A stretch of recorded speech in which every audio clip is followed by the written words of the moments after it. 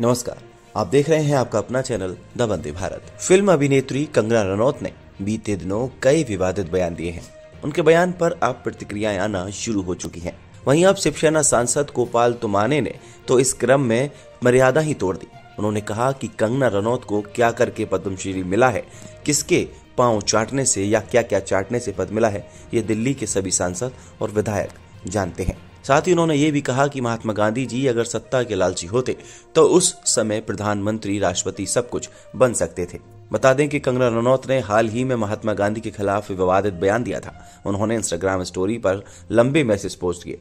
Post में महात्मा गांधी पर निशाना साधा।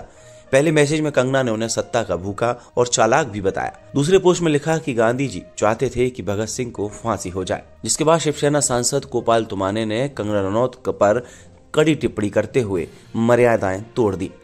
अगर आपको भी ये वीडियो पसंद आई हो तो इस वीडियो को लाइक कीजिए, शेयर कीजिए और हमारे चैनल को सब्सक्राइब कीजिए। नमस्कार।